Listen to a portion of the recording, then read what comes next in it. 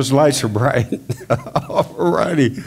Well, welcome to part five of our 10 part series, of the Spirit.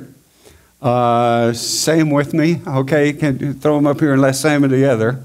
So, love, joy, peace, patience, kindness, goodness, gentleness, faithfulness, self control. All right, I was sharing those with my grandson earlier, and I was talking about how this morning I'm doing patience. I said, Patience, that's kind of hard. He said, Yeah, and self control. That's kind of hard. I mean, he's eight years old and he's, he's got it. He's figured it out, you know. That's what I need help with, right? Uh, I, I, who does self control? Katie does self control. Katie does self control later on. I, I, I don't know much about self control. I'm still working on that, all right? But anyway, we're, we're on the fourth one tonight. Anyway, and, and tonight, today. We won't be here that long. Okay, trust me. But uh, remembering that what, we, what we've said all along is that we believe that, that the fruit of the Spirit is what true spiritual maturity is all about. You know, there, there's other things, you know, Bible knowledge and theology and spiritual gifts that people, you know, seem to make a lot of, and, and we understand the importance of all of those things. But if you really want to know whether spiritual maturity is something that is growing in your life, look at the fruit of the Spirit. And if you see those things present and growing in your life, you know you're growing into spiritual maturity because these are the things that Paul was talking about in Ephesians 4 13 when he spoke about growing up to the mature man, to the measure of the stature of the fullness of Christ. He's talking about the Christian life is us being molded into the image of Jesus. And spiritual maturity is, is simply the, the character of Jesus being woven into the fabric of our own being through the work of the Holy Spirit. And the clearest expression of that that I know of is the fruit of the Spirit. Galatians 5 22 and 23. So, anyway, this morning we're going to look at the fourth one of these. There's love, joy, peace, patience. Patience, okay, patience. All right, gotcha. Never mind.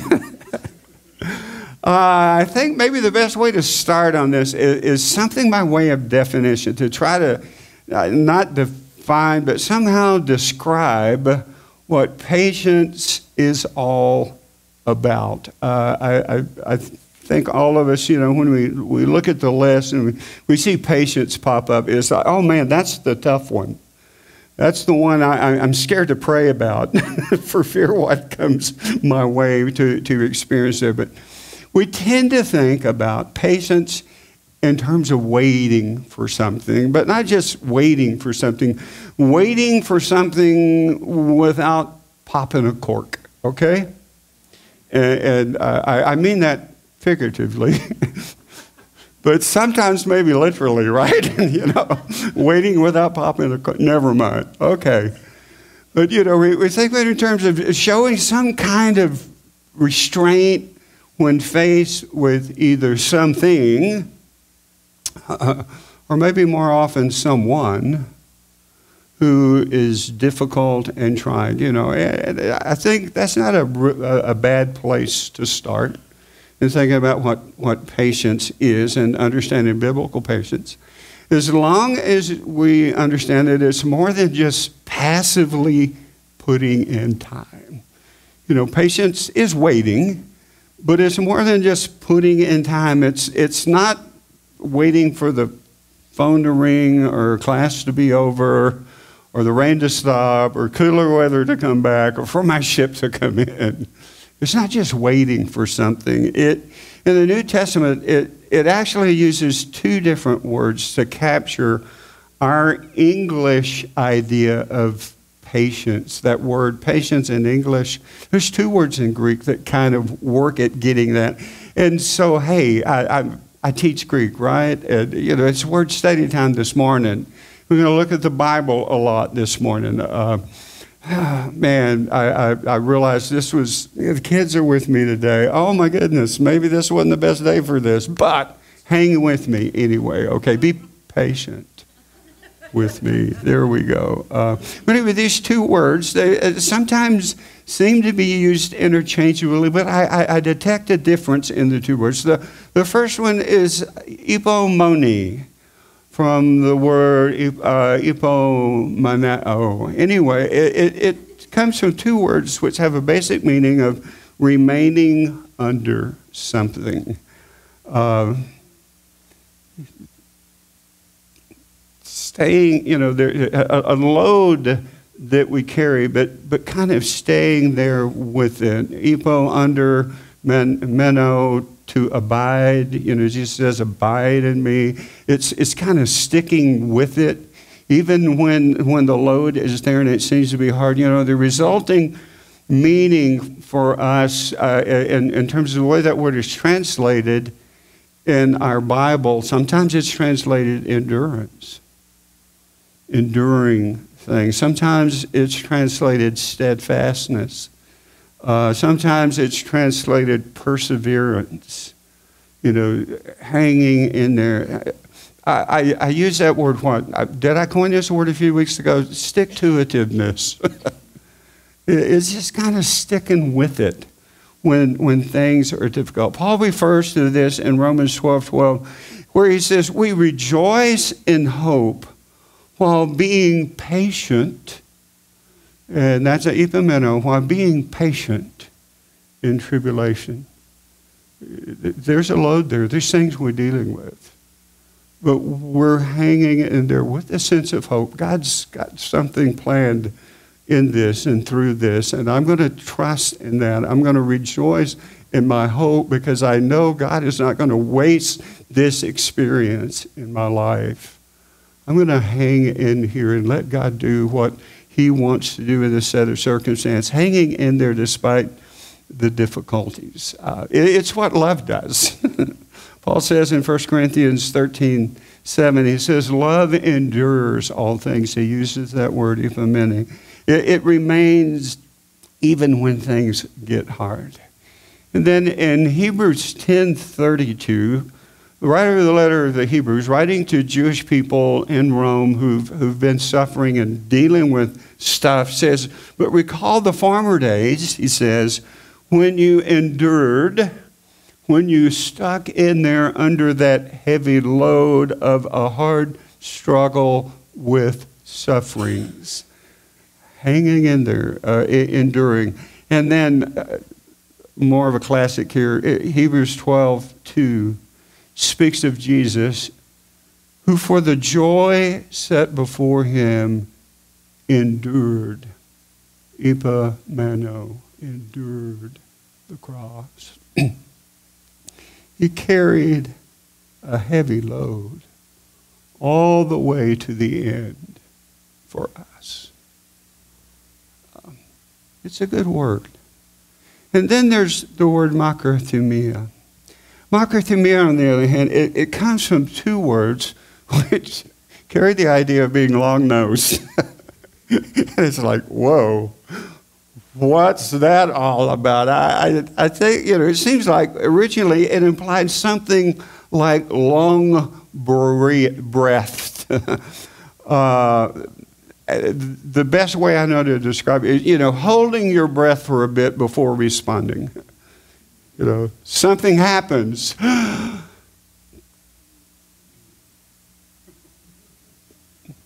okay, now let me deal with it.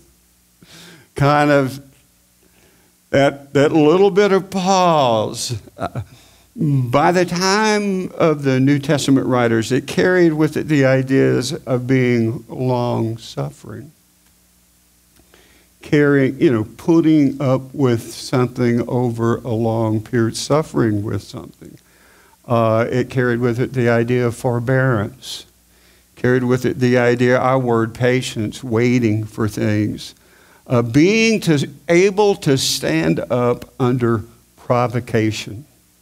Okay, it's NBA Finals start this week. Okay, so poster boy for, for this would be Tim Duncan when Kevin Garnett is sitting there trash talking the living daylights out of Tim, and Tim just looks at Kevin and, you know, whatever. and go, you know, it's being able to hang in there under provocation and not react, not respond. Showing restraint in the midst of, in the face of opposition or oppression. It's kind of been compared to the idea of letting your motor idle when you really want to strip the gears. you want, mm, I want to do something about this. I want to take control of this. I am sick and tired of this. But letting the engine idle just a little while longer, letting God do what God wants to do in this set of circumstances because I know He's up to something. And yes, I've been walking around these walls for a bit, and I thought that they would have tumbled down by now. I love that in the song that we sang earlier. You know, it's, it's, it's, I, I, I can't just strip the gears. I need to sit here and, and let it idle for a little bit. In 1 Timothy 1.15, Paul recalling his rebellion against God says, But I received mercy for this reason, that in me, Paul, as the foremost sinner, Jesus Christ might display his perfect patience. The idea is the full extent of his long suffering, his makrothumia with me. Paul, who had hated Jesus, Paul, who had persecuted Christians, Paul, who, thinking back over it, I'm sure he's sitting there thinking, I should have been put down like the mad dog that I was, but Jesus didn't do that. He suffered along with me. So Tim Duncan, no, no, no, scratch Tim Duncan's face. Jesus, yeah. Jesus, the poster child, the poster boy for what long suffering with us is. The things that he put up with, Paul would say. Uh, 2 Peter 3 9. The Lord is not slow to fulfill his promise, as some count slowness, but he is patient he is long suffering towards you, not wishing that any should perish, but that all would come, should reach repentance. God, in response to a rebellious, lost world, God, in response to sometimes rebellious, his own kids, us God being so patient, long suffering with us. Uh, again, it's what love does. love is patient, Paul says. 1 Corinthians 13 4. Long suffering. It shows restraint instead of reacting, it suffers long. Oh, and so the way that these two words are used in the New Testament, you know, they're very similar, and, and yet I think I can detect a possible difference. And that difference would, would come at the point of the, so, uh, the, the object of restraint here. Epimony seems to be used more in response to difficult circumstances, enduring being steadfast, staying under the load. It's, that's difficult circumstances that come my way. Where makrothumia seems to be more, have more in mind the idea of dealing with difficult people. Pesky people. Yeah, our world is kind of full of both. You know, we live in a broken, fallen world. And things are messed up, and people are messed up, and truth of the matter is we're messed up. but we show a lot more patience with ourselves maybe than we do most people. and that's not a bad thing. You know, God shows us patience. Okay? You know?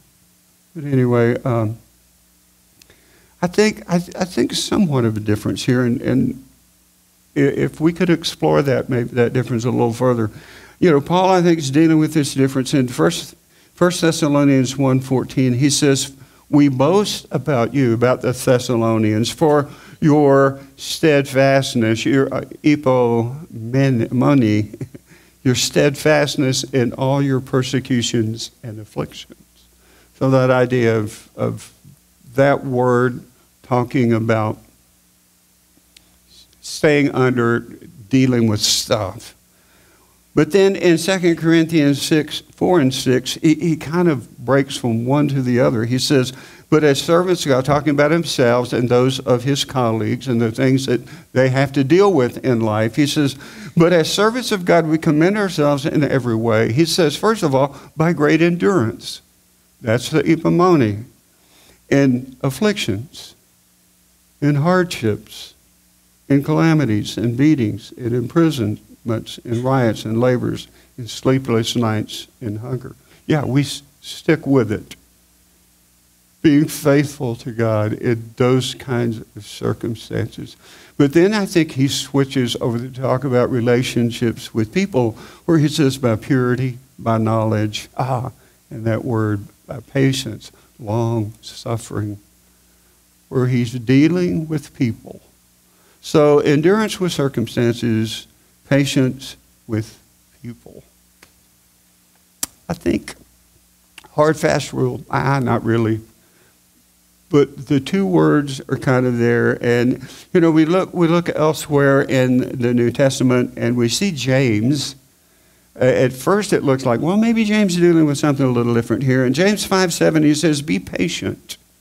Uh, be patient, therefore, brothers until the coming of the Lord. See how the farmer waits for the precious fruit from the earth, being patient, long suffering with uh, until uh, about it until it receives the early and, and later rains. It, it almost seems like you know he's just simply talking about you know putting in time.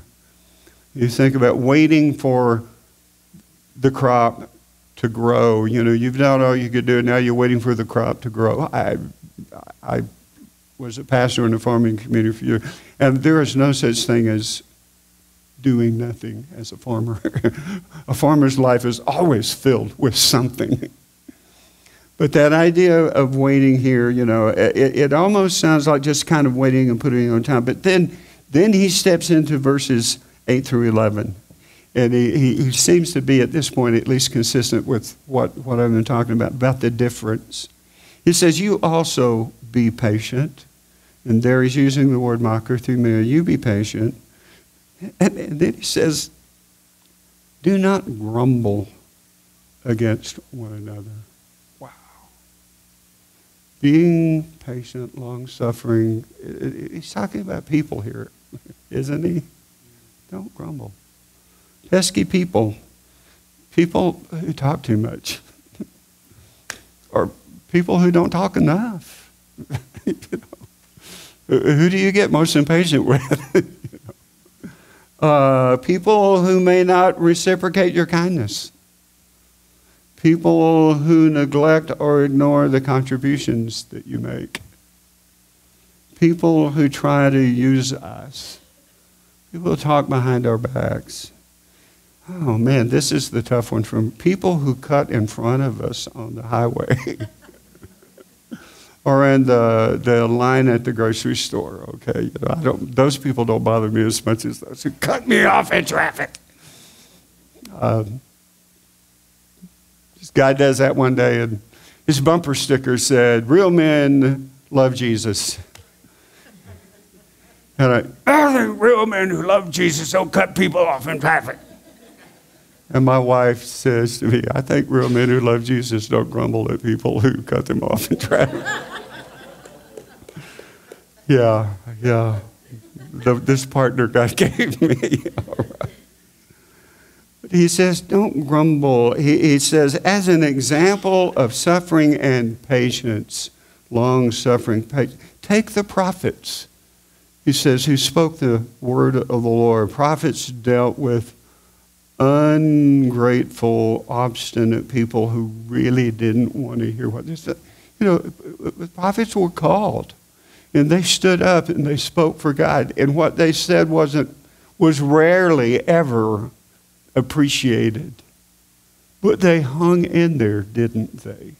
And so there is a sense of them suffering along and also them remaining steadfast. He says, Behold, we consider those blessed who remain steadfast. Epomene, the other word that Paul uses. He said, You've heard of the steadfastness of Job, and you've seen the purpose of the Lord. So, anyway, Paul, I think, has both of these ideas in mind when he talks to us about the fruit of the Spirit being patient. Uh, he, he certainly finds it easy to put these two words together and does often in his work. Um, in, in 2 Timothy 3 10 and 11, he says, You, however, you followed my teaching, talking to Timothy, his, his, his mentoree, okay? He says, You follow my teaching, my conduct, my aim in faith, my, my faith, my patience, my macrothumia, uh, my love, and my steadfastness, my epomene. These two things just go together in life, my persecutions and suffering, which I epomenied, which I endured. Same word there. One of the most, one of the most amazing sentences in all the New Testament for me, you know, where Paul puts together another, I think, holy trinity of words, where he writes to the Colossians in Colossians 1 9 and 11, he says, And so, from the day we heard, first heard about you, we've not ceased to pray for you, asking that you may be filled with the knowledge of his will in all spiritual wisdom and understanding, so as, pardon me, so as to walk in a manner worthy of the Lord, fully pleasing to Him. Wouldn't that be nice? Eh? Bearing fruit in every good work and increasing in the knowledge of God. You know, hey, those are wonderful things. But then He says, being strengthened with all power according to his glorious might, to what end? To be strengthened with his power according to his glory. To what end, Paul? For all endurance, epomene, and patience, macrothumia, with joy. Kara, since I'm quoting Greek, okay? Kara. Where in the world could you put those three words together in the same sentence? I, I, I, mean, we, we would expect them on the same page. We wouldn't expect them on the same chapter of the book. But endurance and patience with joy. But that's what Paul says. And, it, and what does it take to be strengthened with all? with all power according to his glorious might. The only way I'll ever experience endurance, sticking with it, and long suffering and dealing with circumstances and people with joy, the only way that will ever happen, all three of those together, is for God to show up in my life and do something in me that I cannot do for myself. Do we get the picture here? that biblical patience is something that I cannot pull off on my own. if, if that is going to be a picture of my life, then I'm going to need God's Holy Spirit to do some amazing things in me. So, anyway, what is this patience that Paul says is a product of the Holy Spirit within us? Patience is a God given spirit empowered ability to remain faithful to His purposes in our lives, despite difficult circumstances or difficult people or both. Because, hey, sometimes they all come together, don't they?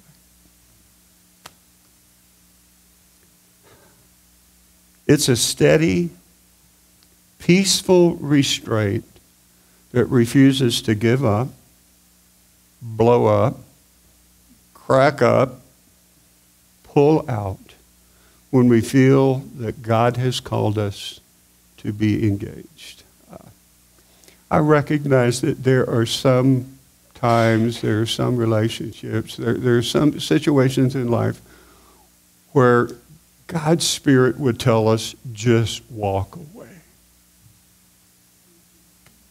Jesus told his disciples, You go somewhere, they don't want to hear what you have to say. Shake the dust off your feet and head on down the road. There are situations like that. Diane's got a book, uh, When to Walk Away. Is that the name of that book, Diane? Something like that, you know. And, and it talks about there are some times that, that that's what we need to do. Trouble is, there's a lot of times in life where I, we can't walk away, right? It's people but they're family. it's people, but they're people I work with. I can't just walk away. And maybe a helpful resource for that is a book by Cloud and Townsend called Boundaries.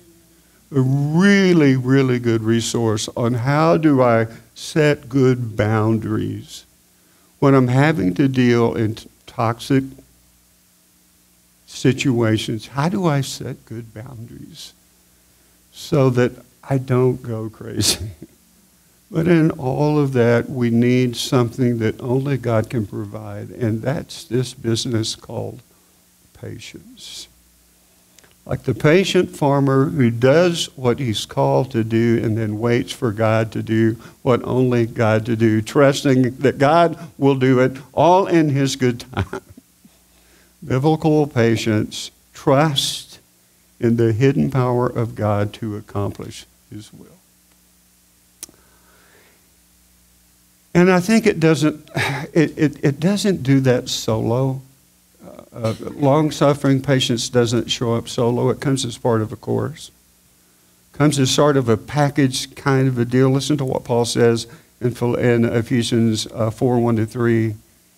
He said, I therefore, a prisoner of the Lord, urge you to walk in a manner worthy of the calling to which you've been called, with all humility, probably a good thing, gentleness, yeah, with, in, in my respect, with patience, bearing with one another in love suffering long with love, eager to maintain the unity of the Spirit and the bond of peace. There's similar passages in Colossians 3 12 and 14.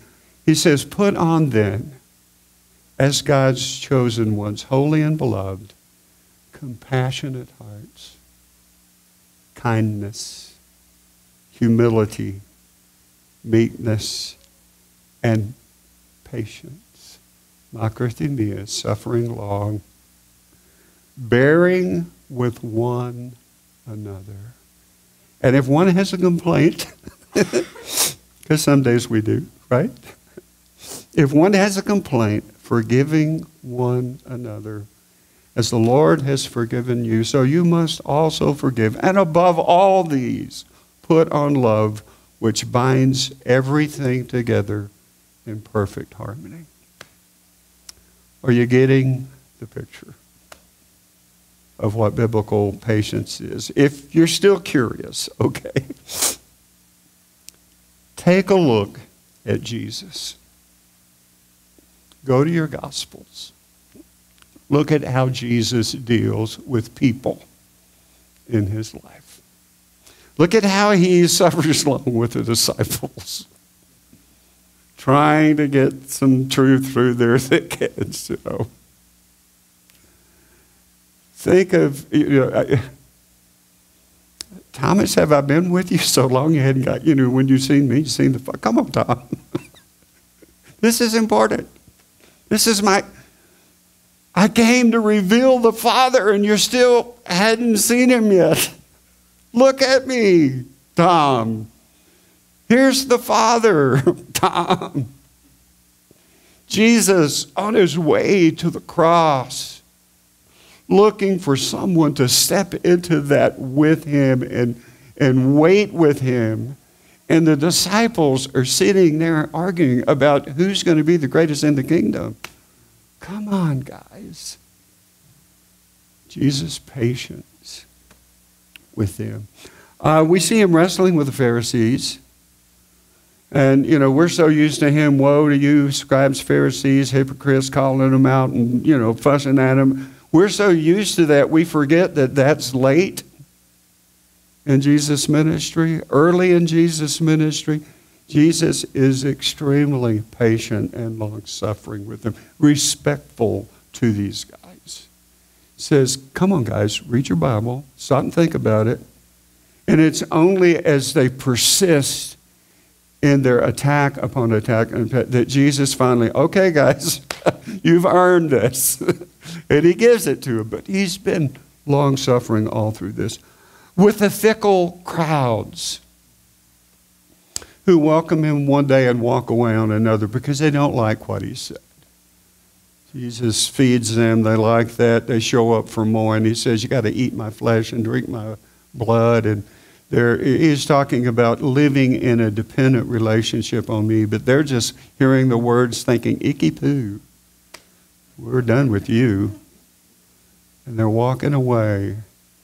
But Jesus having the compassion that he does with the crowd. With a woman at the well, how he's so patient.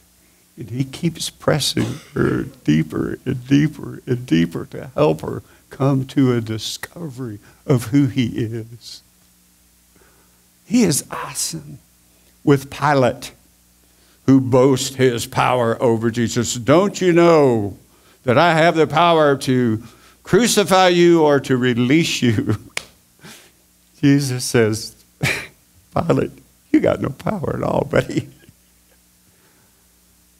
I got 10,000 legions of angels that I could call on right now and rescue me. But I won't. Because it's the Father's will that I take up this cross and bear this cross to the end. So, Pilate, that's what I'm going to do we see Jesus. If we would have his character woven into the fabric of our being, we're going to have to learn to be patient. And, and that's not going to be something we do on our own. Let me tell two quick stories and then I'll be done, I promise. Uh, the, these two stories popped into my head. One of them was from a long time ago. I was pastor in Prince Albert, Saskatchewan. I'd gone down to Saskatoon, 90 miles away, to visit somebody else. So on my way, it's wintertime. It's cold. There's a guy at Rosthern, which is halfway between Saskatoon and PA. A guy at Rosthern trying to hitch a ride in the cold. Well, you know, being the good Christian I am, right? I, pull over, let him get in, and, and we take off. It, and this man is, he's the most foul mouth, potty mouth, toilet mouth. I'd never been around anything quite that bad in all my life. I'm going down the road and it's just, you know, and finally it's like, you know, hey, I need to offer him something. I said, hey, um, you know, I, I'm, I'm a pastor in Prince Albert, and, you know, I'm just not accustomed to listening to the kind of language that you know you're spewing out here, and uh, uh I, I, really would appreciate it if you just kind of tone that down a little bit. You know, I'm, I'm not expecting you to not, never stand out of course, you know, but if you just tone that down a little bit. Oh hell yeah, he said.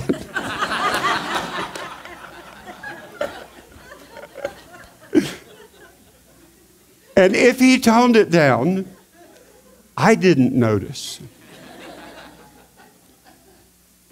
But he had that kind of, I'm so proud of myself for, for, for having cleaned up my act.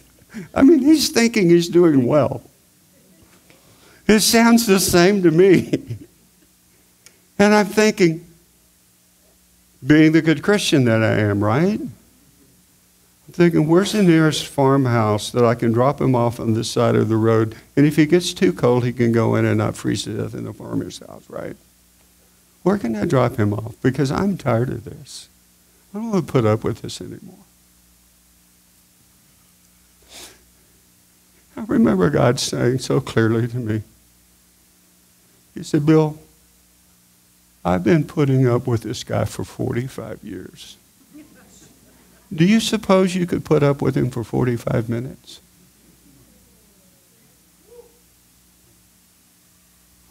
And then there was a four, fourth grader. I did a stint as a teacher, please, not my finest season in life, okay? Junior high, oh my, hell is a junior high, and excessively wicked people have to substitute teach there. That's all I can say about junior high. But I knew it with fourth, fifth, and sixth grade, and a little fourth grader. And if I, I knew some of his story, and, and, so I recognized where all of the turmoil in this little boy's life was going, uh, home environment. But he was so hard to deal with, you know, and if there weren't children in the room, I would tell you that I, some days I want to just twist his little head off. But since there's kids in the room, I won't mention that, right? Being the good Christian that I am. but it was, I would get so frustrated with it. I don't know that I was talking to Jesus, but I was going over, you know, how hard it was to deal with him in my head, and, you know, Jesus kind of popped up. He said, Bill, do you love me? Well, Jesus, you know I love you. Of course I love you. I love you very much. Said, Bill, would you take this love that you have for me and would you center that love in this little boy and love him for my sake? Your love for me, that you would center on him and love him for my sake. changed my attitude that day. You know what his name was? Jesus. Yeah. Jesus. I'm not saying that it's easy putting up either with difficult circumstances or difficult people. But when, when I'm dealing with difficult circumstances in life, more often than not, Jesus just simply says to me, Bill, just trust me. And when I'm dealing with difficult people in my life, he says, Bill, just love them. And when I'm dealing with both at the same time, he says something along the line of, I thought you told me I could use your life any way I wanted to. but in all of that, as we lean into Jesus, as we're engaged with the people in the world that He would have us engaged with, let's be engaged with His Spirit too. And let His Spirit weave into the fabric of our being His own character, which is long suffering and sticking under the load. Father, ah, it's easier to just pray for peace, God. but with your peace, we would long to be patient for Jesus' sake.